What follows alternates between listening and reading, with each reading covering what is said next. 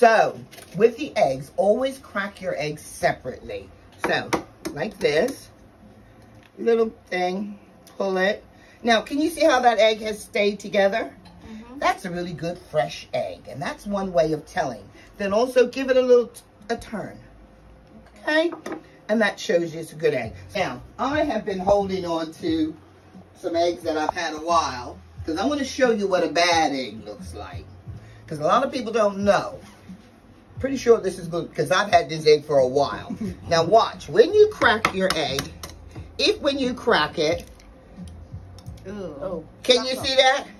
Can you see how it couldn't even come out? Can you see how it's all yucky wucky? Look at that. Ugh. That's a bad egg. So that's why you crack it separate so that you don't mess up your mixture. So now let's uh, move on.